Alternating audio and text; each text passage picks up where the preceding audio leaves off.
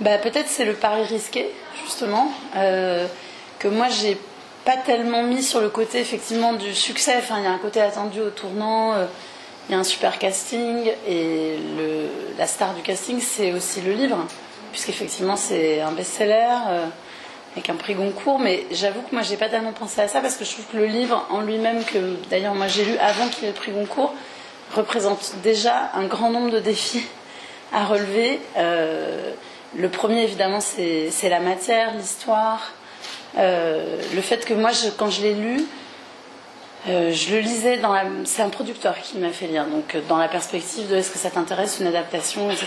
Donc je, je, lisais dans cette perspective, mais en fait, très très vite, j'ai oublié parce que j'ai été complètement happée par ce livre, qui a vraiment quelque chose de, de fascinant, tout en nous en nous amenant tout de suite sur quelque chose de très très sombre. Et donc j'étais restée sur une sensation de, vertige, une sensation de puissant fond. Et ça, ça a été une boussole pour moi. C'est-à-dire, je voulais vraiment que le film, mais avec des armes différentes de celles du livre, forcément, puisque c'est un film, euh, nous, nous, plonge aussi comme ça dans un état difficile à, à appréhender. C'est pour ça d'ailleurs que c'est difficile parfois d'en parler juste après avec les spectateurs. Et euh, l'autre chose, c'est que je trouvais que ça représentait un défi aussi. Euh, une espèce de double orientation dans le livre qui était à la fois quelque chose de très précis, presque documentaire sur le Paris d'aujourd'hui, hyper juste quoi, sur le microcosme, avec beaucoup de détails, avec ce que c'est aussi la vie triviale de la garde d'enfants, des choses du quotidien, voilà, quelque chose qui s'apparente aussi à une chronique sociale. Et de l'autre côté, euh, un personnage euh, qui est un personnage qui, par certains aspects, est un personnage de conte en fait, de conte un peu maléfique, qui vient euh, travailler des thématiques qui sont assez euh, ancestrales, euh, assez primitives comme ça, et du coup qui allaient plutôt orienter le film du côté du film de genre, quoi, du thriller. Et comme chronique sociale et thriller, normalement on les marie peu, je trouvais que c'était assez excitant. Voilà. Que moi, effectivement, je, je, viens, enfin, je suis vraiment dans le cinéma français où on sait assez bien faire le naturalisme. Enfin, moi, c'est quelque chose qui me passionne, mais je trouve ça intéressant que ça vienne s'entrechoquer avec euh, peut-être euh, des, films d'horreur, en fait, par exemple, des, classiques de genre, et d'essayer de mêler tout ça. Et puis le dernier défi, euh, pas des moindres, c'était la présence des enfants, où effectivement, moi j'ai vraiment choisi d'en de, faire des personnages à part entière dans le film, ce qui impliquait une façon de fabriquer le film très particulière, un tournage organisé autour de leur présence, et puis un risque, voilà, de travailler avec des, en plus des tout petits, et puis une jeune actrice de, de 5 ans. Donc euh, pour toutes ces raisons-là, moi ça m'a plutôt réjoui en fait. Au contraire de me faire peur, enfin disons que ça me faisait peur, mais j'aime bien aller là où ça fait peur. J'aime bien quand il y a un défi à relever. Donc voilà.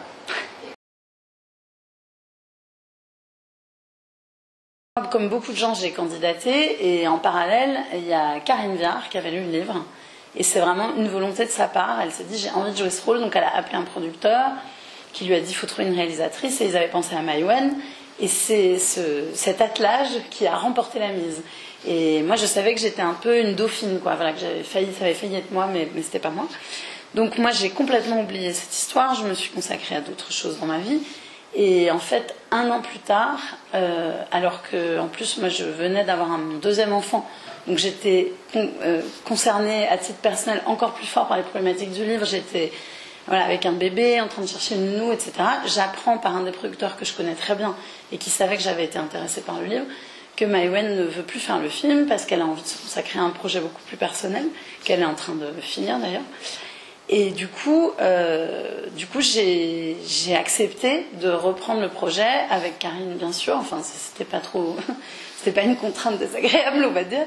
Et euh, en repartant du premier scénario que Jérémy avait écrit, pour MyWen. Et du coup, on a travaillé ensemble avec Jérémy et on a modifié le scénario à, à mon gré. Et du coup, c'était une rencontre euh, super en fait avec Jérémy que moi je connaissais un peu comme acteur forcément. Et je sais pas comme il a quelque chose, comme il est très séduisant, très sympa et tout ça. J'avais l'impression que c'était quelqu'un qui était un peu euh, comme ça, qui pouvait être un peu dans la surface. En fait, il est hyper travailleur. Il connaît hyper bien euh, le plateau de par son expérience d'acteur et de collaborateur de Valérie Donzelli.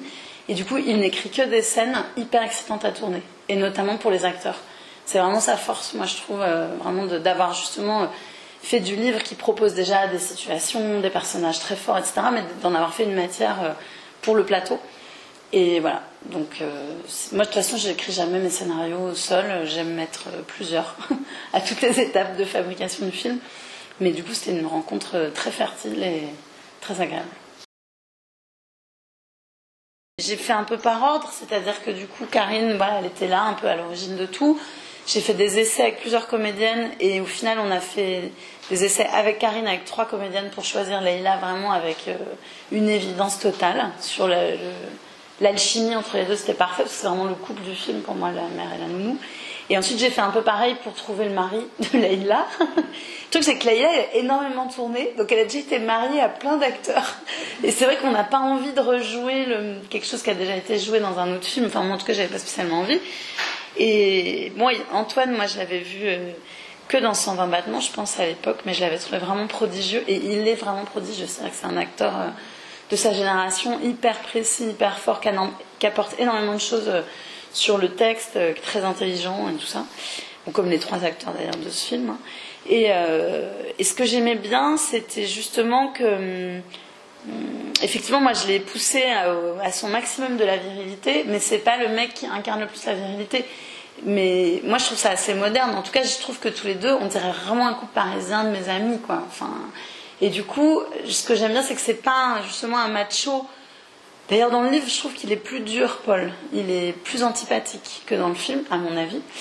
Euh, et c'était important pour moi qu'on puisse euh, être en empathie un peu avec tous les personnages du film, qu'on soit surtout jamais dans le jugement.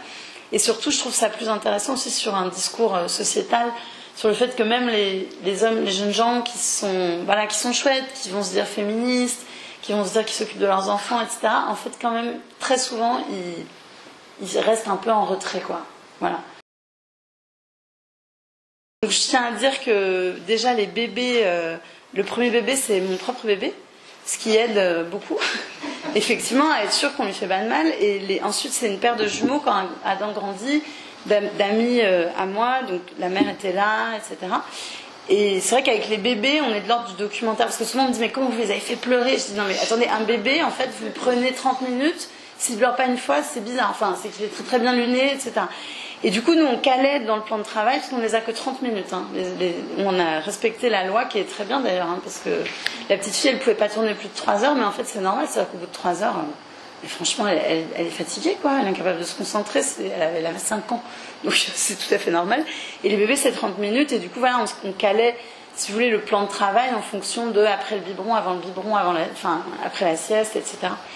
Et, et quant à la petite fille, euh, parce que moi, franchement, je remercie encore les parents, quoi, de m'avoir euh, donné leur accord, parce que euh, c'est quand même énorme d'accepter que son enfant parte sur un projet pareil.